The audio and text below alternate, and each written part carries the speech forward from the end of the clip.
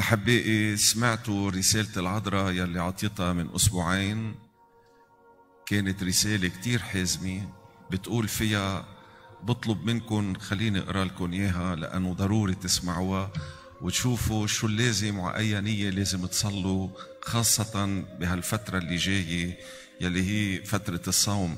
كتير العذراء وهذا طلب خاص بطلبه منكم أنا وياكم بدنا نعمله. قدموا صومكم حتى قيمتاتكم الصغيرة اللي بتعملوها تنقطوا عن شيء بتحبوه قدموه عنية العذراء بهالفترة. العذراء كتير عايزتنا تحتالي تقدر بتقول اتمم ما بدأته بفاطمة وتكمله في ميديغورية بتقول العذراء برسالة أسمعوا. أولادي الأحباء صلوا معي من أجل السلام. العذراء اللي عم تحكي لأن الشيطان يريد الحرب. والكراهية والبغض في القلوب وفي الأوطان. كل اللي عم تشوفوه انقسامات وناس حاقدة على بعضها وناس تشتم بعضها بالسياسة بالأحزاب. ما حدا بقى في محبة بقلبه. وهيدي الحرب بتبلش بتقول العذراء هون بعدين بتنتقل لبرا. إذا ما حاربت أنت جوا وطلبت سلام ربنا يسكنك الحرب ساعتها أقل مشكل بتلاقي ولع الدنيا.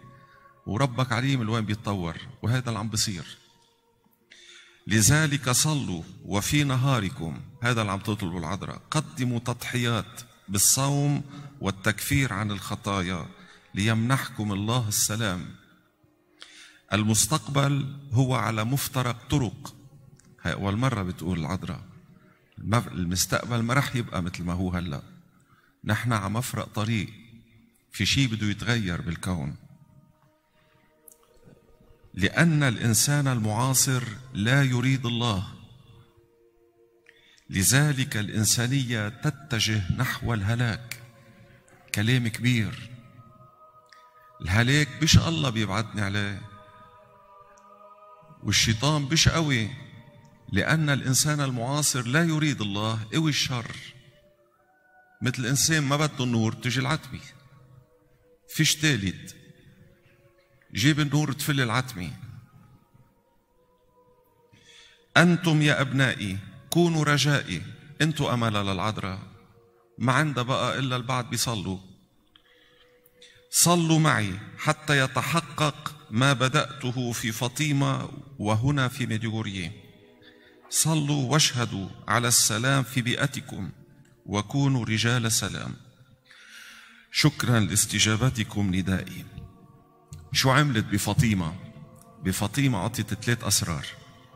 أول سر فرجتهم رؤيا جهنم وأعداد هايلة من البشر عم تنزل لتحت وبيشوفوا الأولاد مرة شقرة كتير حلوة واقفة على شط من بحيرة من نار ونفوس عم تنزل فيها بألام هايلة وبتقول سور لوسي لو لم تعدنا العذراء مسبقا أنها ستقودنا إلى السماء لكنا متنا من الخوف. وبيشوفوا هالبنت الحلوة بتنط بالنار وبتطلع من ميل تاني وحش عم بسب ويلعن على اسم الله. صاروا يصرخوا الأولاد يقولوا لها للعذراء كيف بيسمح الله هيك الإنسان يتألم؟ تبكي العذراء وبتقول لهم شفتوا هالست الحلوة؟ ما حدا دفشها. بملء وعيها هي نطت. معناتها ربنا مش هو بده يبعتنا لهونيك. نحن بوعينا الكفر اللي عم بصير رفض الله هو اللي عم بيخلي الإنسان يوصل لهيك مصير. بتقول لهم العذراء توقف هالنفوس تنزل على هالأرض على هالمكان. بدي إياكم تنشروا أول سبت من الشهر المناولة التعويضية. والإنسان يرجع يعترف يتصالح مع الله وصلوا المسبحة. أنا ما بخلي البشرية توصل لهون. ما ردوا عليها قلت لهم إذا ما راح يتصالحوا الناس مع ابني وهذا السر الثاني فرجيتهم إياه.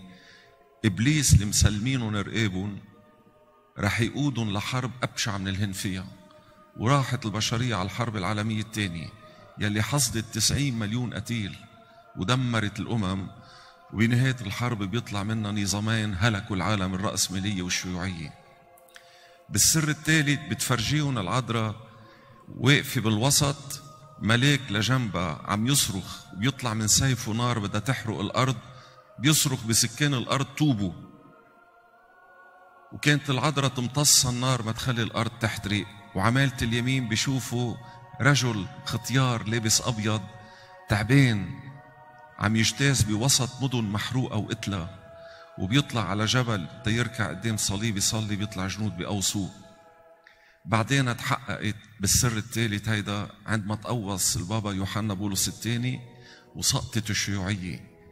لما راحوا لعند لوسي عم يسألوها إذا هو البابا المعني؟ قالت لهم هذا هو البابا يلي شفناه بالرؤيا. سألوها عن سر الملك قالت لهم الشيوعية كانت عم تحضر لحرب نووية. بفضل تدخل العذراء سقطت الشيوعية وسقطت خطة الشيطان لدمار البشرية. الظاهر هالشر يلي إجت العذراء وقفته بفاطمة ما وقف. جاي تكمل بمديورية. وبدها تخلي قلبها وقلب يسوع يربح. مش مثل ما عم يبشرونا البشرية مدري وين رايحة. بتقول العذراء رايحة على ربيع جديد. وكل اللي بحبوا العذراء بحمايتها.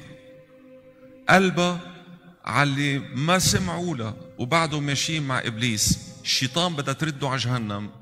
رح ياخذهم معه. مشان هيك عم تطلب منا نصلي لتوبتهم. نصلي لرجعتهم. لأن أولادها كمان كل اللي عم يعملوا الشر. أرجوكم حطوا هالنوايا بصومكم تحتالي نربح قلب العذراء ونقدر نرد أكبر عدد ممكن من الخطأ بصلاتنا وإيماتاتنا إلى التوبة ليسوع.